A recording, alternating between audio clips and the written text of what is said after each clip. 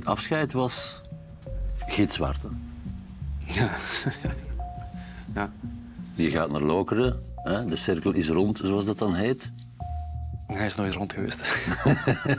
Het is nog altijd open. Het is eh, vierkanter kan het niet lopen. Hè?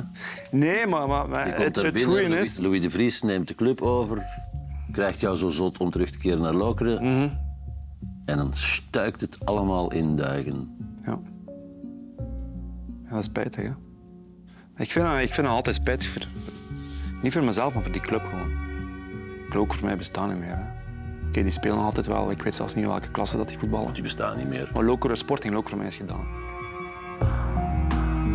Er zijn inderdaad openstaande facturen naar een paar mensen en bedrijven, dat klopt. Ook naar de spelers toe en naar de trainer. Absoluut niet naar de spelers toe, absoluut niet. Zijn jullie betaald?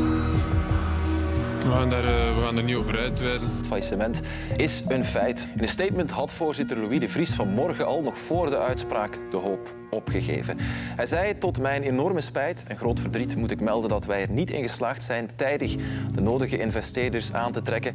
Het is duidelijk, niet iedereen is op zijn zachtst gezegd gediend van de rol van de voorzitter.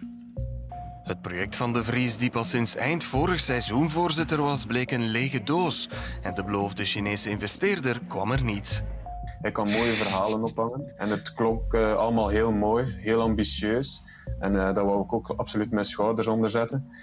Maar al vrij snel kwamen toch eh, ja, de eerste barsten in dat verhaal. Je blijft er uiterlijk onbewogen bij. Ja, maar ik vind het zelfs soms grappig als ik het terugzie. En ik vind... Ik, het is, het is, het is, ik vond eigenlijk vooral spijtig voor Kilian. Kilian is een kameraad ook. En, en had het aan mij gelegen, had ik in december al gezegd van ik train niet meer. Wegens als we niet, zolang, als niet we niet betaald. betaald worden, dan, dan, dan wordt er ook niet getraind.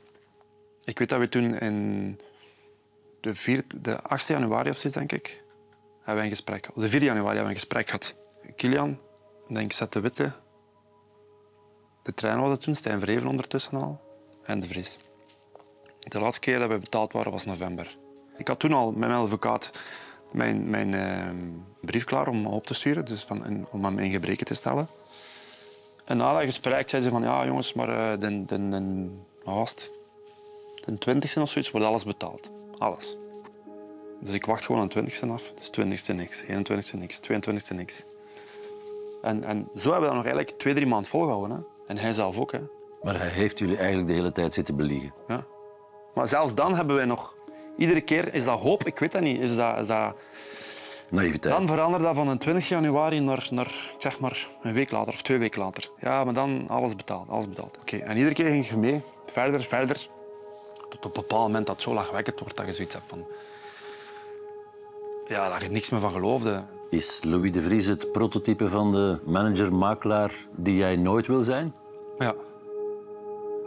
ja.